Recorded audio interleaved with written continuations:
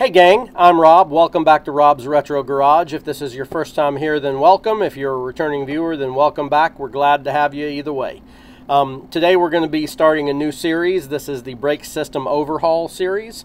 Uh, this is part one in that series where we're going to look at removing the brake calipers. I'm going to show you tips and tricks and tools that you need to remove the calipers. And uh, why are we doing this? Well, it's going to further the goal of getting this car back on the road. It also will make it safer to drive by reconditioning and repairing the calipers. So let's get started. Garage. As you can see, we're working on a tire today, or at least we're looking at a tire. Um, I've already taken the uh, lug nuts off of it, as you can see. So I've gotten it ready to come off. Um, have not looked at it yet. But we're continuing uh, the series for the brakes. And specifically today, I'm going to be working on taking the caliper off. Um, I already took the caliper off on the passenger side. Um, I broke it down, uh, you know, went through all the trials and tribulations of figuring out how to do it and um, sort of planning out this video. And I think this is the best way to do it is I'll start on the uh, driver's side now, uh, the front driver's side. And we'll pull the tire off and we'll get in there and we'll take a look uh, at the, uh, the brake caliper. And uh, we'll try and get it off. I'm going to cut the brake lines because I'm not going to reuse them. Um, so we'll go ahead and get those out of the way. Um, and we'll just take the whole caliper off and then we'll uh, take it apart and we'll look at it uh, in, uh, you know, we'll check out the brake pads and see how badly worn they were. The brake pads on the other side were, uh, were pretty nasty. Um, actually, let me go get one. They're uh, laying on the floor right over here.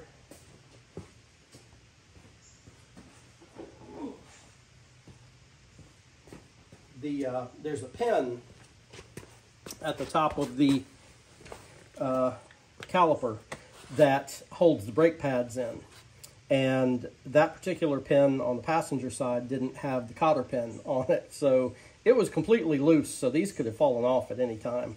And we drove it uh, a couple hundred miles. Um, but anyway here is one of the pads. You can see it's got cracks all in it. I mean it looks really bad. And the rotors uh, I can only assume are original to the car. There's the other brake pad. You see it's got fewer cracks in it um, but as I was saying, the rotors I can only assume are original to the car because they are still riveted on, at least on the passenger side. Um, so I'm sure it's the same on the driver's side. And I've glanced at the calipers in the rear, and the two calipers in the rear uh, are all covered with rust. Um, the two calipers in the front were not. So whoever uh, bubbled this up before me had uh, at least done some work with the front calipers. Um, so anyway, uh, with no further ado, let's get this tire off and we'll take a look at the uh, uh, getting the, uh, the caliper off. Okay guys, let's get this thing off. You're looking at it for the first time with me. Put this over here out of the way.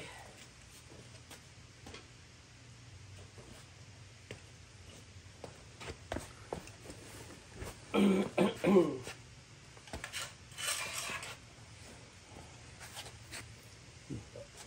you in here a little closer.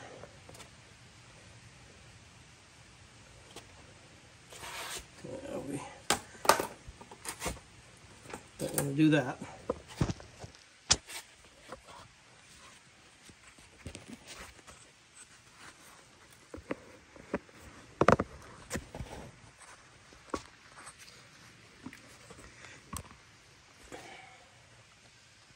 All right.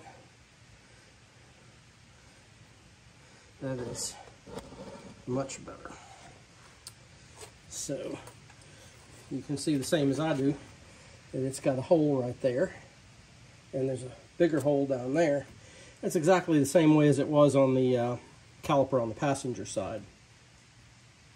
And this one does have the cotter pin in it to uh, hold it in now the thing that was a SOB to get off the last time was there is a fixture that goes onto the brake line. And uh, it goes into the caliper. It doesn't screw directly into the caliper. There's a fixture between the uh, brake line over there and the caliper. And my God, that was hard to get out. Um, I wound up getting the deep socket stuck on it, and I haven't been able to get it off yet. Um, but uh, yeah, it was not fun. So anyway, let me go and uh, get some stuff, and uh, I'll go ahead and put a uh, uh, drip pan underneath it, and I'll cut that uh, that hose, and we'll bust that caliper off of there as best we can. Okay, before we go to take them off, I thought I would show you these. These are the two bolts, two of the four bolts that hold the caliper together. This is from the one that I took off uh, earlier. This one actually physically holds the two halves of the calipers together. And this one holds it on to the, uh, the spindle. So the sockets to take these off respectively is a 5 eighths and you can see that goes right inside there. So 5 eighths for the ones that hold it on to the caliper. And then I had to go up a size. My, uh, my kit here does not hold it. It is 13 sixteenths. And that is what, you see the light in my backyard keeps going off and on. It's because of me. And then 13 sixteenths fits in there. So we'll use that to take them apart, and we'll use this to get them off of the, uh, the spindle. But here's a pro tip I learned on the other side. Don't take these off. Well, don't remove the caliper and then try to take this off because it's not going to work. It's very hard to do. You have to have a vice grip. You have to be really strong. So use the spindle uh, than the, the substructure of the car uh, to hold on to these things and give you some leverage to turn and uh, they'll come right off. But I definitely had to use a, uh, an electric uh, breaker tool for this. So yeah, anyway, just thought I'd show you that. Hey guys, we're looking at the back side of the caliper now. So here is the bolt that holds the caliper on to the control arm and the spindle. This is the bolt that holds the calipers together. And this is the PITA fixture I was talking about. This thing is in there so freaking tight. So what I had to do for the first one was I had to, the practice one was I had to cut the hose right there and then put a deep socket on it. And uh, that allowed me to get it off. But it got stuck on the deep socket. So, uh, I can't get it off, or at least I haven't really seriously tried to yet. But um, anyway, uh, back there is the, uh, right there is the uh, other bolt that holds the caliper together. No, that's the one that holds the caliper together. That's the one that holds it onto the, uh, the bracket. There's the bleeder screw. You can see it's all nasty and rusty. That was rather difficult to get off uh, as well. So I'm just going to wind up cutting this thing. Uh, and then I've got to take it off uh, right there. Uh, there's just a little clip that slides out and that comes apart. So let's get to it.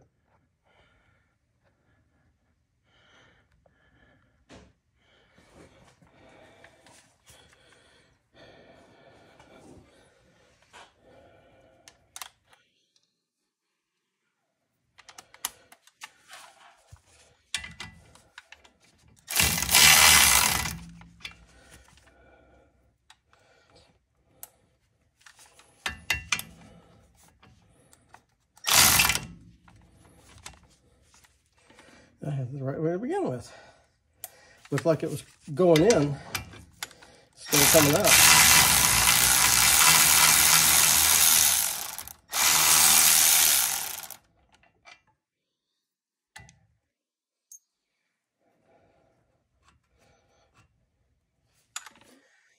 Yeah, that's what I wanted to do.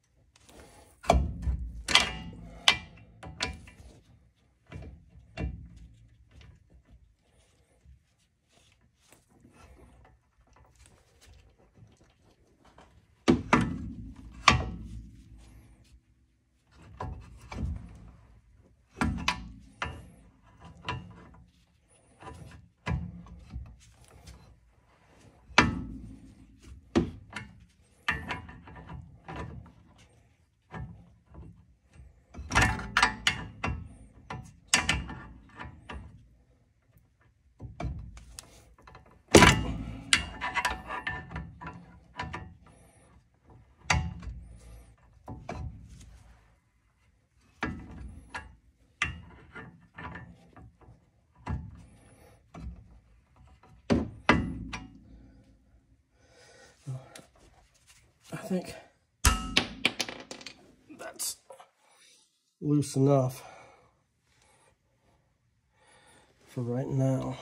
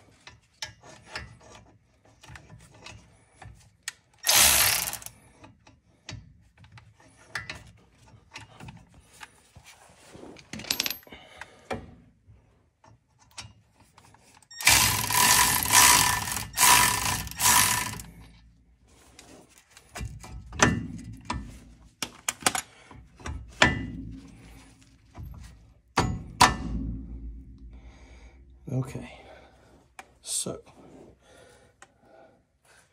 we got that.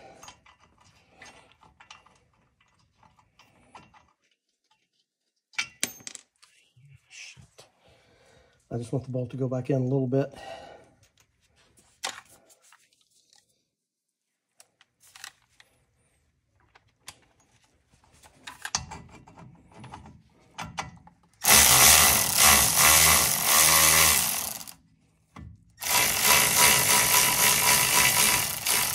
There we go.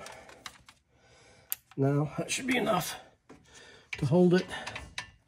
So I can take this one out.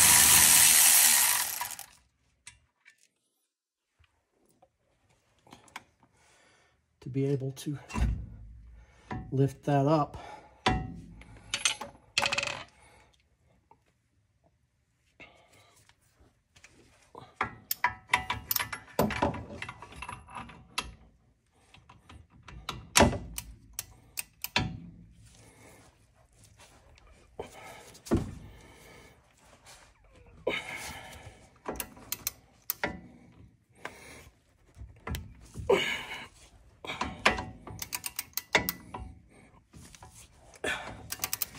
Trying not to punch the camera.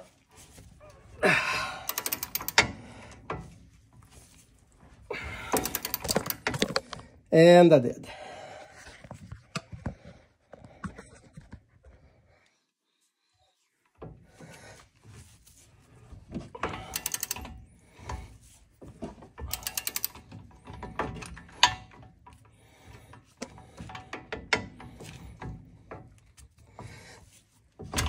And again, I'm just trying to save myself some frustration getting these bolts loose.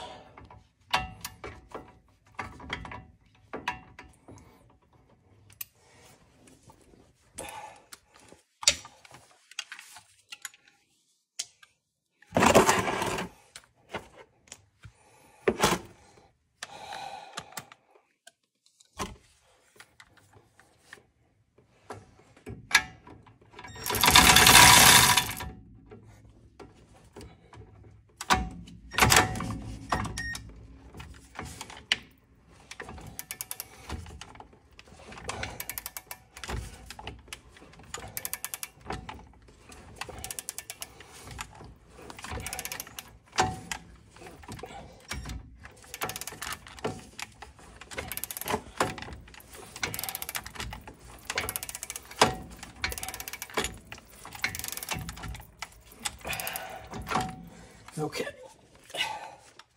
That's loose. Now, I'm going to cut that line and we'll just pull it on out.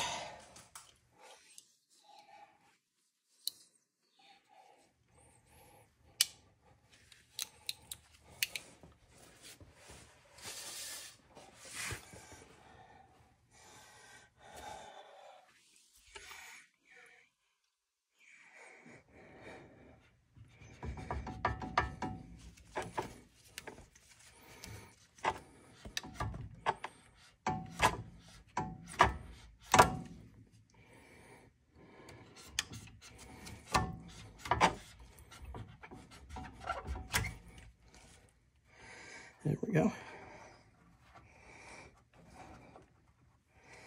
One brake line out. Now I'm going to take a wrench and I'm going to try and loosen this thing up. I think it was 5 eighths.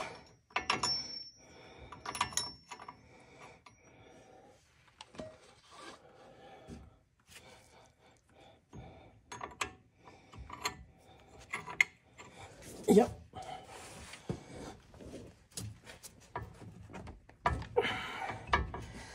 Well, well, Jesus on the cracker.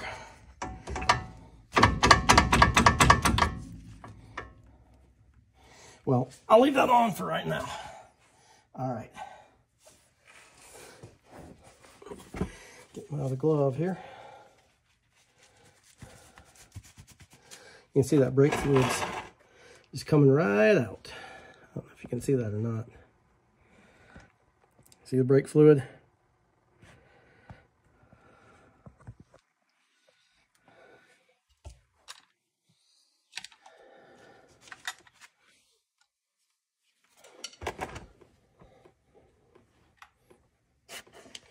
Would help if I didn't misplace my, my sockets.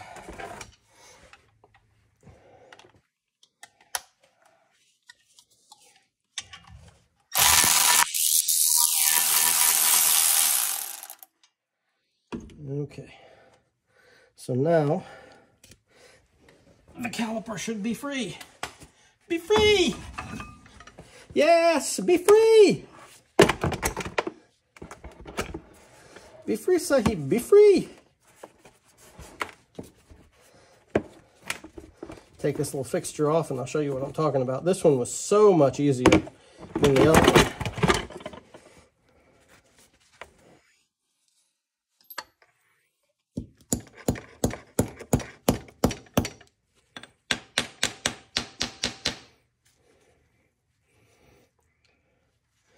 Not sure exactly how that's going to come off, but you see, that's the, the fixture I was referring to. And it goes right into the caliper. From the brake line directly into the caliper. Yeah, and see, I don't know if you can see this or not. I can't see the camera angle from here.